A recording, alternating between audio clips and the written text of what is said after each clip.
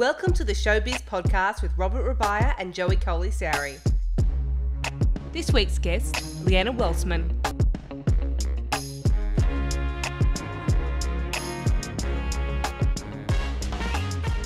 Perhaps best known to an international audience as Zam Wesell in Star Wars, or to Aussies as Erica Davidson in Wentworth, Leeanna Walsman is an Australian actress who has been nominated for a number of awards for her layered and deeply compelling work, including an Australian Film Institute slash Australian Academy of Cinema and Television Arts Award for Safe Harbour, One Perfect Day, and Bitter and Twisted, as well as a Logie Award for Safe Harbour and Jessica, and a Film Critics Circle of Australia Award for her work on Manny Lewis.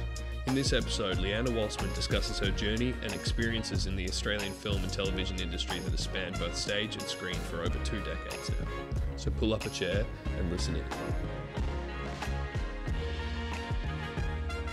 Do you draw on those experiences personally for, you know, those kind of roles that we've been talking about? Well, I think you. I mean, I'm never. I don't. I don't. I think it's crazy. I mean, for me, I can't go. Oh yeah. Um, let's say someone is passing away in my arms as a character, and I look at them and I imagine my father. I mean, that's. I would never do that because that's not real. I would imagine that this person in my arms is passing away. Yeah. But I. I would connect to the feeling of loss. Yeah. I mean, I think you connect. To me, I connect to feel the my body recognizes the the feelings that I've felt before, but I'm not going to put someone else's face on the actor that's in front of me.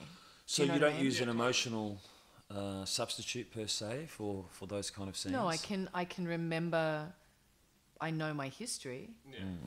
but It's more about generating that moment. yeah, within yeah, and I think that um, I understand what I understand of that moment, and and I think the more that I think about something, I, sometimes I go, oh my god, like I have these realizations where I'm like, this is an intense moment. This is mm. way bigger than I I really thought mm. when I really boil it all down, and that becomes part of it.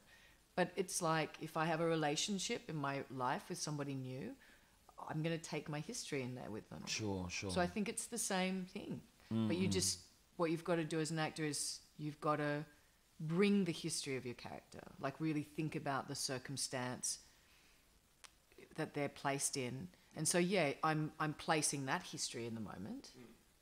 But I but I'm reacting to the person in front of me. Yeah. So I, co- I don't I wouldn't I wouldn't replace that that person with somebody else. and have you always worked like that, Leeanna? Yeah, do you put someone else's face in, on them? It, it depends. M- My process varies from role to role. It just depends. Well, what's- same. Yeah, yeah. yeah, yeah. But but generally speaking, no, absolutely. There's certainly a place for that. Yeah.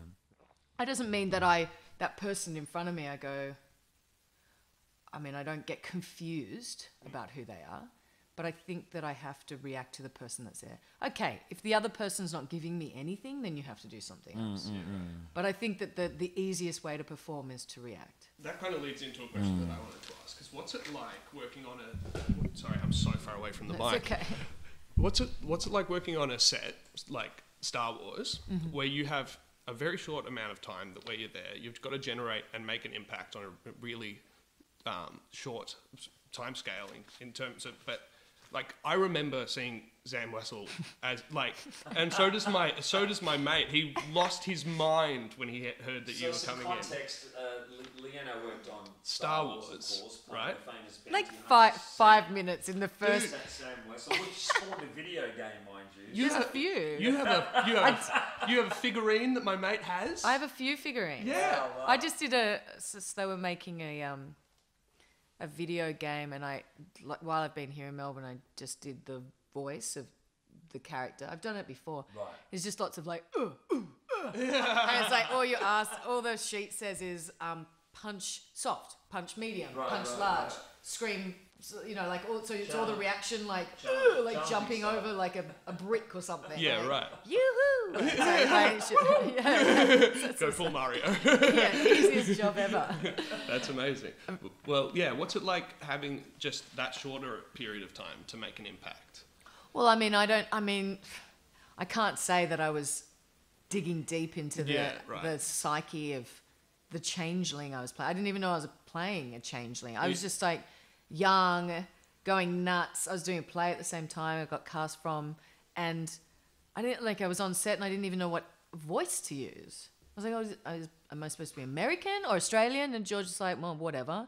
You're from outer space. George Lucas? Make a choice. It's like I'm just shitting myself. Yeah, yeah. Ewan I'm speaking McGregor's to there. George Lucas right Yeah, now. and no, and he's like saying, oh, whatever, you're from outer space, doesn't matter, you Star Wars. Whatever. Were you can you speak whatever language you want. I was like, well, what? I mean, I, I can't, like a baddie as an Australian, I just don't, I don't know. So I mm. did a really bad American accent, but it was all kind of changed anyway. And, and I don't know, like, I just kind of, I, I, it was pretty hard to gauge whether that it was decent or not because it's a completely different genre Yeah, right. and you you it's really stylized but it was lots of fun like all the running i love all the running around and stunty stuff i was always really athletic well today maybe not but i was like always really athletic and like using my body and and Yeah. so if that's and i was doing the play that i was cast from that I got the role from, uh, that's what I was doing for an hour and a half. I was like hanging off things and running around the stage. It was incredibly physical. Wow. So that's why I got cast. I was tiny. I was quite waif-like, and I had a crew cut, and I was like doing all this jumping and running around Yeah, the yeah. stage. So they were like, "Come in," and I had an interview, and it, it- they didn't even tell me what it, what the role was. Was George Lucas present at the interview? Like, No, it is was he just that hands on? casting. Oh, No. okay, okay. But he would have seen the video, and Yeah. that's it. Yeah, yeah. Cast you from that. Wow. Mm. What was that experience like? I mean, you're working in one of the most successful film franchises of all time. I mean, is Yeah. there a weight of expectation? I, I'd never seen any of them. Oh, great. Really? No. That would have freed you up so much. Yeah, I had no idea. Like people, um, So you didn't realize how huge Star Wars was when you. Well, yeah, it was Like, big. It was a show, but You, no. you, you had to know that Star Wars was big. Sure. Yeah, but but not didn't- not hadn't seen it. not what I know now. No. Yeah, right. Um, no, not at all. And then, but then it was just lots of fun. We're all young. Everyone's run, running. yeah, it's yeah. like so much fun, and and all the cast were fun. And then loads of Aussies that I knew were on it too.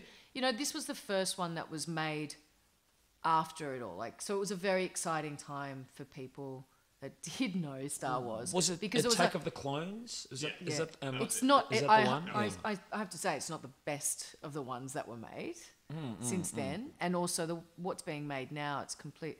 You know, there's a real. I mean, it's really divided. What we made, I think, is for kids, like you know, and I Mm, think people were disappointed because they'd seen it as children, but now they're adults going, "I expect this," but it's like, but this is a film that Mm. you you have memories of because of being a child, you know, Mm, and children love it. It's Yeah. like kids just totally. like totally. They have the same reaction to what these adult fans have that Mm. were disappointed. So you just got to put it into perspective. Perspective, yeah.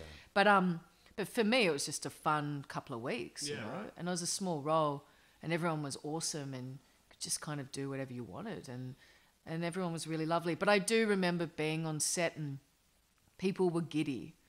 You know, when George was around or not, that were actually working on the piece. It made me go, "Oh, these are professional. Like Yeah. Australians don't get giddy. Yeah, Yeah, like we're just exactly, like, hey, we're just doing. It. I was like, oh, these people. So it must be quite. Do you, what a s- Do you still have people coming up to you being like, "Do you want to buy some death sticks?"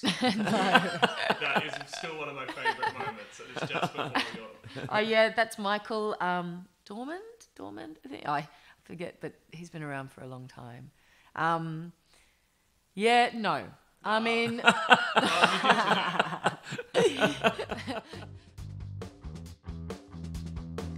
You've been listening to the Showbiz podcast with Robert Rabiah and Joey Coley Sowry.